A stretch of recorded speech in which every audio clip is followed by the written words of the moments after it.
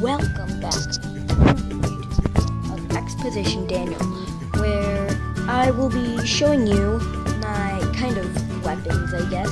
So, first on the list, we have this, which is a good little fighting weapon, which I hold in my right hand. Now we have this, which is a weapon that can turn into like like pet, like a flying eel, and like it's kind of a shield too.